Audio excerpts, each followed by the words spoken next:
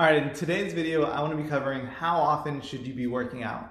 Whenever people start our programs, they ask us often, what should I be doing? How often should I be coming into the studio and exercising? And so I'm Brian Cade, I'm the owner of Cade Fit, where we empower people to move beyond their limits, both mind and body, so that they can create the life that they want.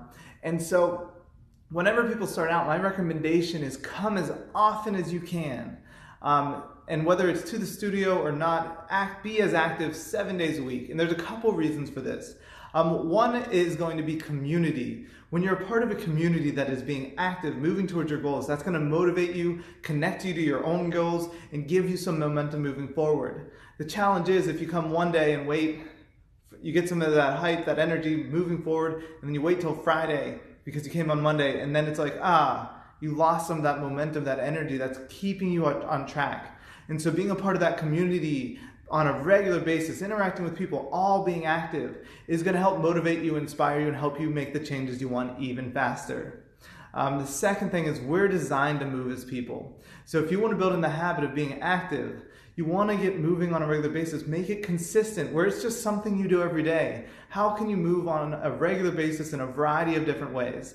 And uh, the other thing is research also shows that people who have lost weight like significant amount, over 50 pounds, and kept it off for years, one of the main habits that they do is that they move seven days a week for an hour. Now, that doesn't always have to be coming to the studio and working out, but that's whether it's swimming, running, gardening, dancing, trampoline parks, which I enjoy doing. Um, I know that said that in other videos, but finding ways that are fun to move, do that often.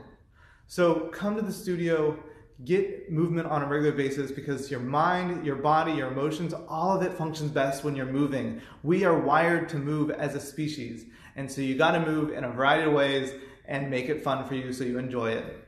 Um, and then the final thing with movement, how often should you be showing up, is you're going to learn and build that habit so much faster the more you're immersed in that environment. When you're learning how to squat three days a week, you're going to get that much better at it. When you're crawling and doing the posture work, you're going to learn it so much faster and your body's going to adapt to it. Um, anything you do on a regular basis becomes a habit. So make this a habit so you learn how to enjoy using your body and you're going to get results even better.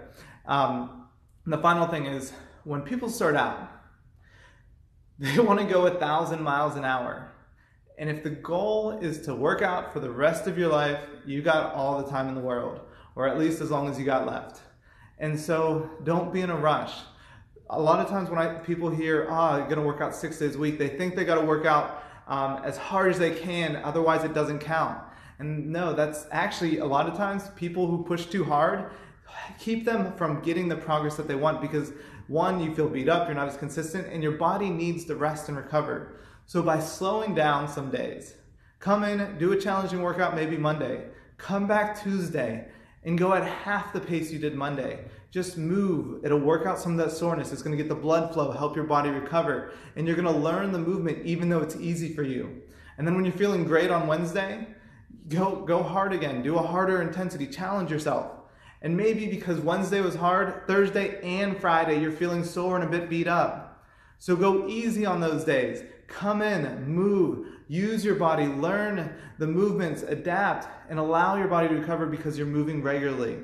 But make it easy on yourself. And when you're feeling amazing Thursday and Friday because you took it easy, come back Saturday and challenge yourself again.